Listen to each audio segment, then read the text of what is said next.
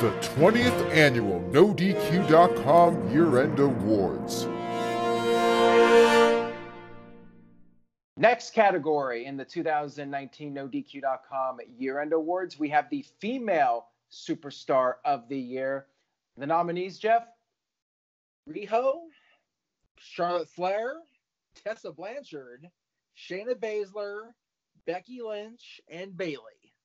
Impact Wrestling is hard to kill because Yes. Impact stars are still getting nominated in the year end awards. Good for Tessa Blanchard, and Impact's she hard may to kill because of Tessa Blanchard. Let's be honest.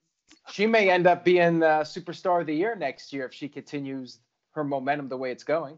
She is the next in line as of right now to be the uh, world championship number one contender. So I wouldn't be surprised if she's champion before we end the year.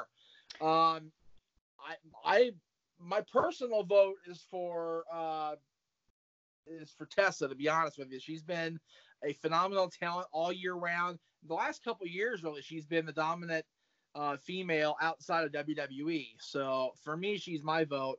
But you know, people are going to vote for Shayna, and rightfully so. Shayna Baszler's had an amazing year plus on top as the NXT Women's Champion. She was a huge part of the invasion on SmackDown a few weeks ago, or whatever it was.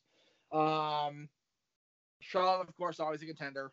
Um, I'm not really familiar with Riho's work outside of AEW, and I, I haven't really seen much of her. I watch AEW, but she's the champion, but the division is still kind of making its way. I guess if that makes any sense. So Yeah. and then you know Becky and Bayley, of course. You know Becky Lynch is the man, and you know she's she's right up there with you know. But again, she's kind of cooled off. At, and Bayley is hot now, but not as hot as Tess has been consistently, as as hot as Charlotte's been consistently. Ba- Bayley finally just got her footing the last two months or so. Right. Yeah, that's a very good point. I, I would not go with Bayley.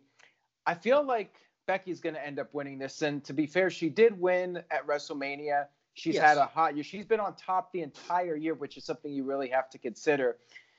So I think Becky will probably win. I wouldn't mind Shayna. I think she would be a really solid pick. And Tessa, considering how well she's done for herself, she would be a great pick. Um, so yeah, it, it's definitely going to be neck and neck with this one. But I think Becky's going to end up getting it. All right.